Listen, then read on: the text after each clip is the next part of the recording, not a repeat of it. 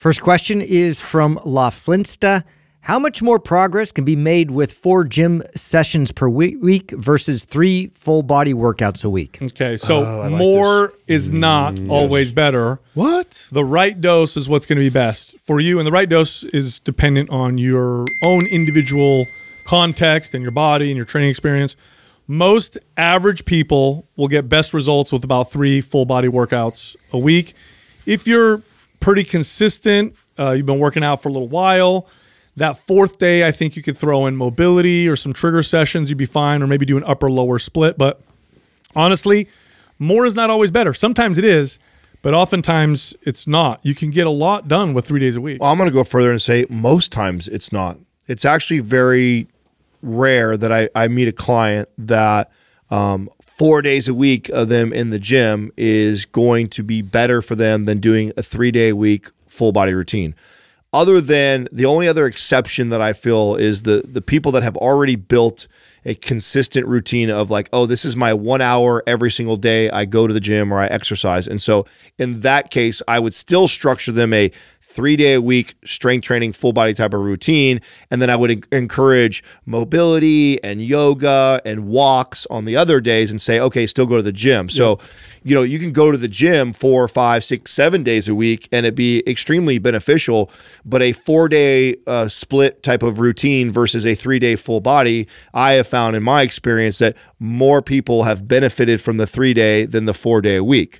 Now, there are exceptions to the rule, of course. I've, and when I'm t- uh, coaching competitors, yeah, many of them are training in the gym, but we're talking about high level athletes that are getting on stage and competing yeah. and been training for a long time. The general population, most of them do much no. better here. Well, and two, like if you keep it within that three day structure, uh, you can ramp up intensity. You can mess with the different acute variables uh, within that framework, which also, too, I think people just like just forget all about the recovery process. Like that's a huge part of your success in terms of being able to adequately recover and then adapt and then you know gain muscle. All that is a vital part of the process. So uh, to have that structure it's just it's a nice balanced structure that three day a week schedule. Adding another one i mean yeah you could kind of like uh, change your focus a bit in the gym or you know if you added like six days a week but you'd have to make sure that the majority of of the hard foundational type workouts were you know adequately spaced out yeah you know I, I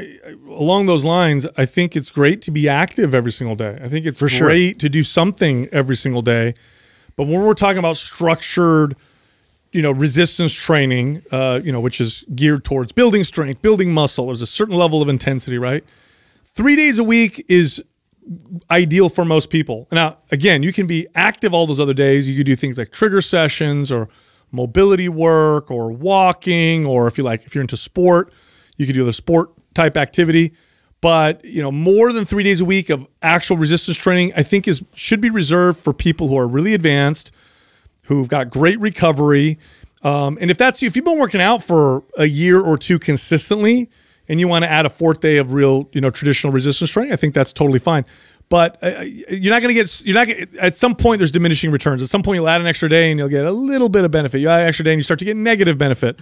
I mean, when Doug hired me, he worked he did two full body workouts a week for I think two years before he even moved to a third day. And then well, he did that for like a couple years before moving on to more. Well, I'm glad you brought him up because he wasn't a, a beginner lifter either. No. He was, and because I was just going to say after you said that about reserve for advance, I'd say I'd proceed with caution even if you're advanced. This was one of the most pivotal moments in my training career. I'd already been training for almost a decade yeah. before this came together for me. I was six day, seven day a week. And I remember dropping yeah. down to three. It blew my mind. I was in the gym half as much lifting weights, and my body was progressing faster than it ever had in the previous five to seven years. So uh, it, more is just not more. You just, you think that the more you hammer the weights and you hit it, the better your results are going to be. It's just not true. And I would say more often than not, it isn't. So I always start with less. Start with less, see how much you can accomplish with that, and then build upon that. Hey, if you enjoyed that clip, you can find the full episode here, or you can find other clips over here. And be sure to subscribe.